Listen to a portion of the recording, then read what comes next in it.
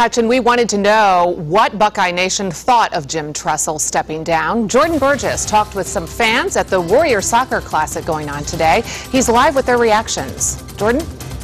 As you can imagine, this was the talk of the tournament this morning as word slowly made its way around the soccer field. I even had people coming up to me to ask if the news was in fact true.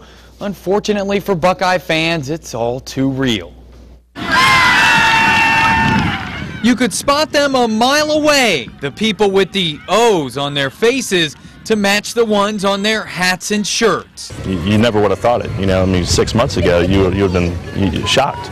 You know, but now it's just it, it's just insane. Nice ball, Sam. As these parents watch their sons and daughters in the finals of the Warrior Soccer Classic, another kind of football was being talked about on the sidelines as word spread of Jim Tressel's resignation as Ohio State head football coach. Very surprised, but you know, I I had heard it was possibly coming.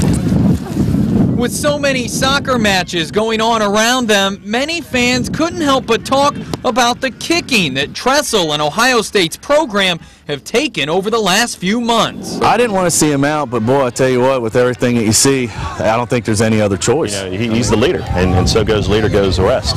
And uh, you know, if you don't have trust in your coach and, and alumni and, and, and the fan base, you know, what else can we do?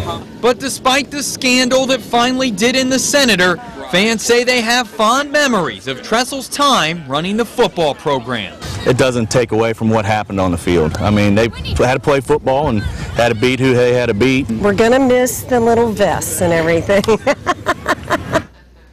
Uh, the sweater vest may no longer be in style in Columbus, but don't expect fans to purge their closets of scarlet and gray. And we've got more football talk in the next half hour, only instead of a coach being booted, this is about the Dayton area economy getting a kick. Reporting live, Jordan Burgess, 2 News on your side.